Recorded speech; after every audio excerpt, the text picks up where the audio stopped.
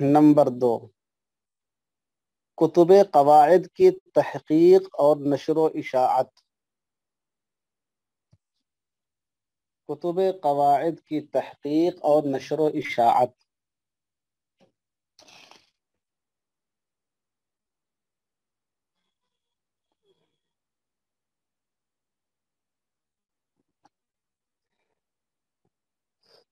اس دور کی ایک بڑی خصوصیت یہ بھی رہی،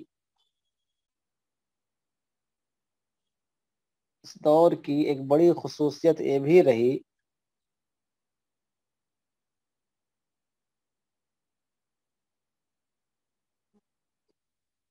کہ اس دور کے علماء اور منتحی درجات کے طلباء نے منتحی مطلب جیسے پی ایچ ڈی کے ایم اے کے سمجھ رہے ہیں؟ ایم فل وغیرہ کے جو طلباء ہوتے ہیں، وہ مراد ہیں۔ اپنے ہندوستان میں تو ان سب کاموں کا تصور ہی نہیں رہ گیا ہے۔ سمجھ رہے ہیں؟ ہندوستان میں شرح لکھ دینے سے بڑی نیکی کوئی کام ہو ہی نہیں سکتی ہے۔ یہاں پر سب سے بڑی نیکی کا کام کسی کتاب کی شرح لکھنا، جیسے مولم الانشاء کی شرح لکھنا، القیات الراشدہ کی شرح لکھنا۔ سمجھ رہے ہیں؟ سب کتابوں کے لوگ شرح لکھتے ہیں۔ اسی طریقے سے کیا نام ہے، یہ قصص النبیین کی شرح لکھنا، سمجھ رہے ہیں؟ اتنی معیاری معیاری کتابوں کی شرح لکھی جاتی ہندوستان میں۔ اور اتنی اونچی اونچی اہم کتابوں کی کہ طلبہ پریشان ہوتے کہ آخر اس کو سمجھیں گے کیسے؟ تو اس دور کے علماء اور منتحی درجات کے طلبہ نے قواعد فقہیہ کی ان کتابوں کی تحقیق و ترتیب۔ قواعد فقہیہ کی ان کتابوں کی تحقیق و ترتیب۔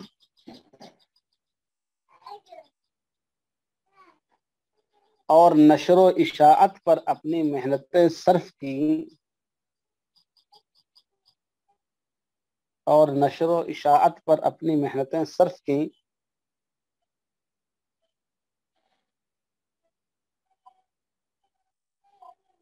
جو گمنامی کے پردے میں چھپی ہوئی تھی۔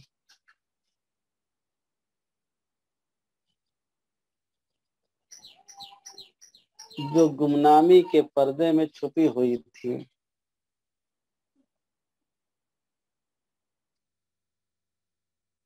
اور جن تک پہنچنا اہل علم کے لیے مشکل تھا۔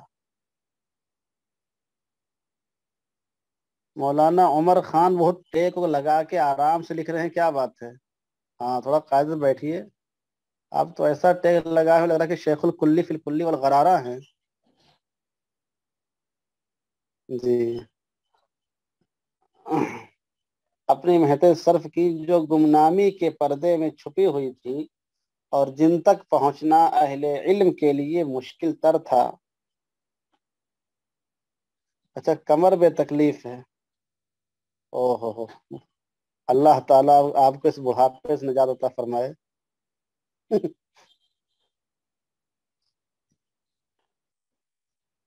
ان حضرات کی محنت کا نتیجہ یہ ہوا۔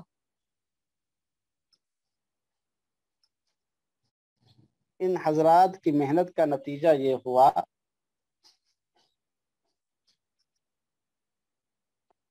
کہ قواعد فقہیہ کے دفینے، سفینے میں تبدیل ہو گئے۔ کہ قواعد فقہیہ کے دفینے، سفینے میں تبدیل ہو گئے۔ اور علم کا وہ بڑا خزانہ جو اب تک نظروں سے اوجھل تھا، اور علم کا وہ بڑا خزانہ جو اب تک نظروں سے اوجھل تھا۔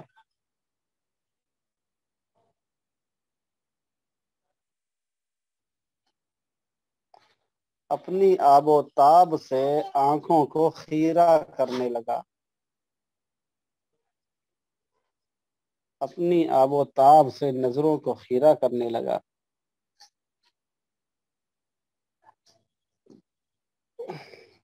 اس عظیم کارنامے کے نتیجے میں،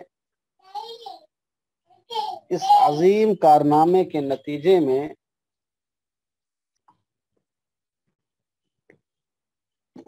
جو کتابیں تحقیق اور زیور تباہ سے آراستہ ہو کر سامنے آئیں،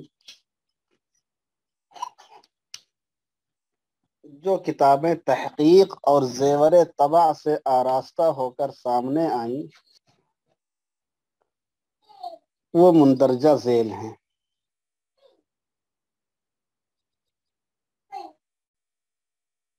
وہ مندرجہ ذیل ہیں۔ کچھ کتابوں کے نام لکھیے جو تحقیق کے بعد شائع ہوئیں اور سامنے آئیں۔ نمبر ایک، المنصور فی القواعد للزرکشی۔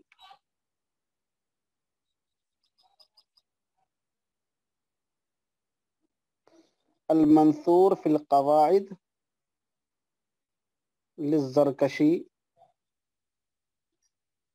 بتحقیق تحصیر فائق یعنی تحصیر فائق کی تحقیق سے شائع ہوئی ہے۔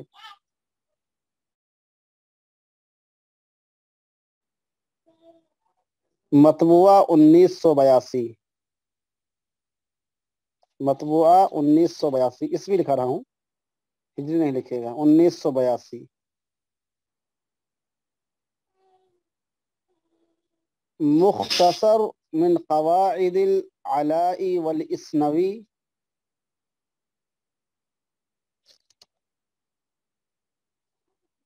مختصر من قواعد العلاء علائی عین سے والاسنوی حمزہ اور سین سے والاسنوی لبن رجب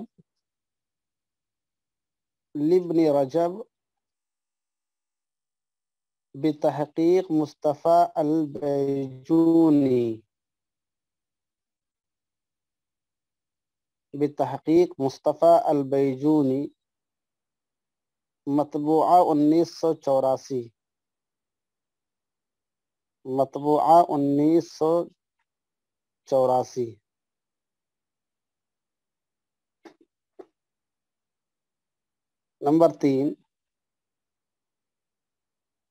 القواعد الصغرى القواعد الصغرى لعز الدين بن عبد السلام. لعز الدين بن عبد السلام.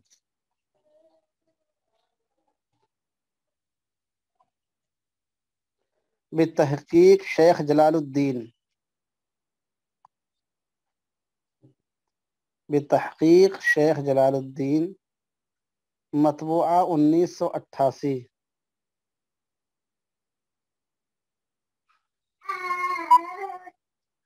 1988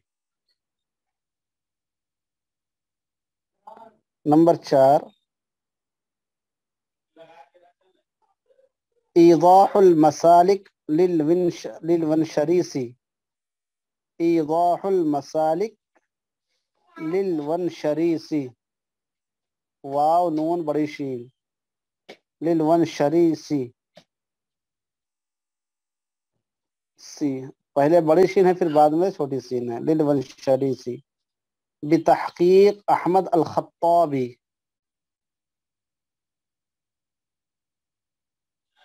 بتحقیق احمد الخطابی۔ مطبوعہ انیس سو اسی۔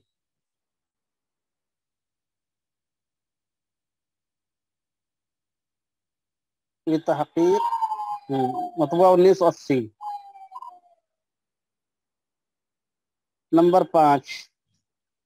القواعد للمقری مقری میم، بڑا قاف، رایا۔ بہت ان کو مقری پڑھ دیتے ہیں۔ یہ مقری نہیں للمقری ہیں یہ۔ مقرہ ایک جگہ کا نام ہے، سمجھ رہے ہیں؟ وہاں کے رہنے والے ہیں، اس لیے مقری ان کو کہتے ہیں۔ للمقری القواعد للمقری بتحقیق احمد بن حمید، بتحقیق احمد بن حمید،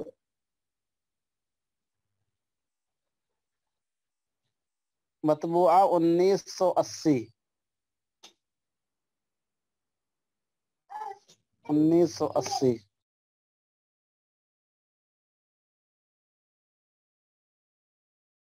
الاشباہ والنظائر لبن السبکی۔ الاشباہ والنظائر لبن السبکی۔ یہ سب کتابیں لکھی تو پہلے گئی تھی لیکن نظر نہیں آتی تھی کہیں پہ۔ سب مخطوطات کی شکل میں چھپی ہوئی تھی الاشباح والنظائر لابن السبکی بتحقیق عادل احمد و علی محمد۔ دو لوگوں نے اس پر تحقیق کی ہے۔ بتحقیق عادل احمد و علی محمد۔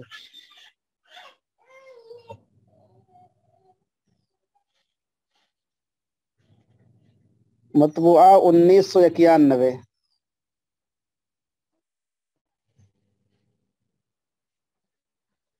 كتاب لکھئے إيه؟ الأشباه والنظائر لابن الوكيل.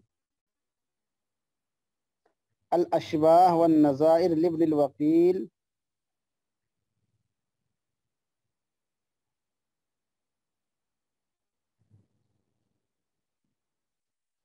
لابن الوكيل.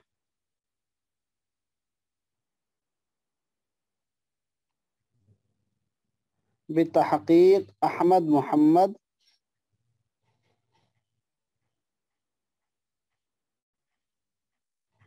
مطبوعہ انیس سو ترانوے۔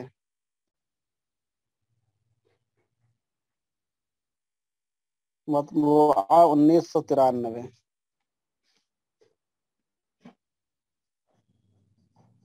اس کے علاوہ بھی کتابیں ہیں، لیکن اب متی میں تفصیل کی ہو رہی ہے۔